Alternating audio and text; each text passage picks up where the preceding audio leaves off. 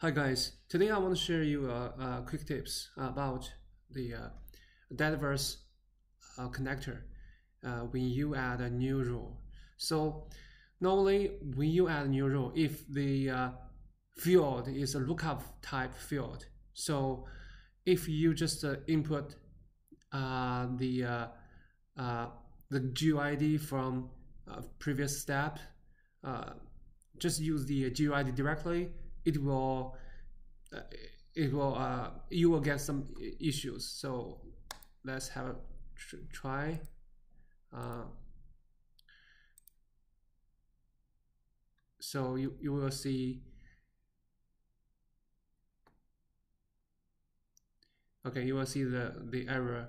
The error is says URL are not was not parsed due to an OData unrecognized path exception so the resource not found for segment provided in the URL. So okay, the solution. The solution is for the lookup field.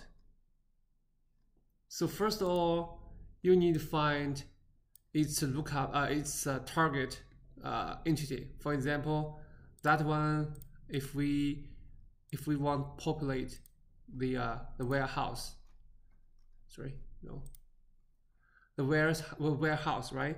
So we just go to the form and go to the warehouse and find its target, uh, its target lookup uh, entity. So you can see its target uh, entity is warehouse, right? Okay, let's look at this one. This is uh, the lookup. Uh, this is entity for uh, warehouse. So we just get the uh, the, the, the logical name here, copy that. Then we just put here before the GUID.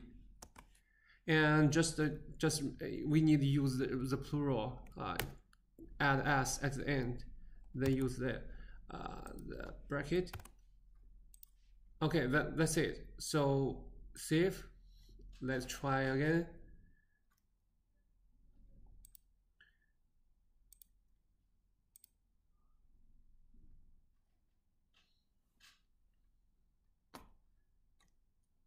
Okay, so you can see uh, the flow has uh, run uh, successfully.